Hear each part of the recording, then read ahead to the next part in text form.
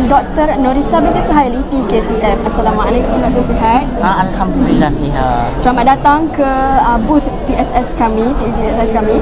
Saya nak tanya sikitlah soalan kepada doktor. Okey, boleh. Soalan pertama saya, apa harapan doktor terhadap pesta buku ini? Okey, pesta buku ni yang kita tahu dila- dilaksanakan secara tahunan dan Ya. saya sangat mengharap ia akan kita teruskan pada masa-masa yang akan datang dan kalau dapat pun cakupan yang lebih luas bukan hanya di Kuala Lumpur malah kalau dapat digerakkan ditempatkan di negara-negara ya, ah, di negeri-negeri atau kawasan yang lain lah tetapi kalau da- memang perlu diteruskan sebab uh, dan di dari dari segi sebaran tempatnya yang lebih luas lah Yeah. Saya pun teruja uh, nak pergi ke pesta buku pada setiap tahun. ya Soalan kedua saya lah kepada doktor. Apa seruan doktor terhadap warga institusi pendidikan termasuk guru-guru dan murid-murid? Ha, kepada semua warga pendidikan eh, saya mengam, mengambil kesempatan ini uh, untuk menyeru agar kita pupukkan semarakkan minat membaca eh, ke,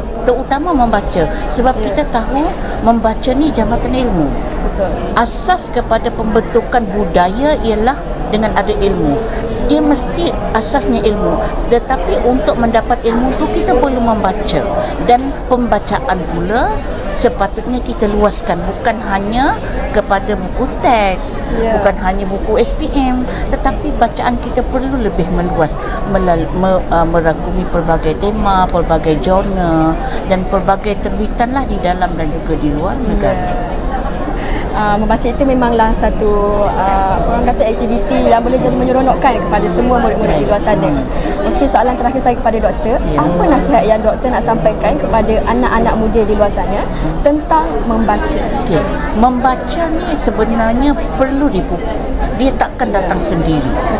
Dan bila kita pupuk benda tu, maknanya dari awal eh, waktu kita di bangku sekolah, uh, kita kena ada rasa. Sebab tu kita ada program. Kalau dulu kita ingat ada nilam, sebenarnya asasnya ialah untuk memupuk membaca. Tetapi dan saya mengambil kesempatan ini untuk melihat mengharap anak-anak muda tak kira peringkat umur baca baca dan terus membaca. Apa saja karya sastra karya teknologi berunsur sains karya sejarah pendidikan agama ekonomi masyarakat baca.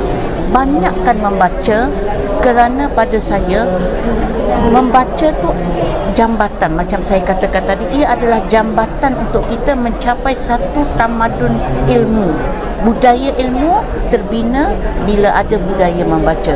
Jadi baca sebanyak yang mungkin dan uh, cuba kita memahami apa yang kita baca dan cuba pelbagaikan bahan bacaan kita jurnalnya temanya dalam dan luar negara karya agung karya sastra banyak yang boleh kita pelajari daripada bahan bacaan tersebut Saya pun memang suka membaca jadi saya Ya, harap bagus. semua anak-anak muda di luar sana pun suka juga membaca macam saya insya-Allah. Ya. Terima kasih doktor kerana meluangkan masa bersama kami. ya sama-sama terima kasih juga ya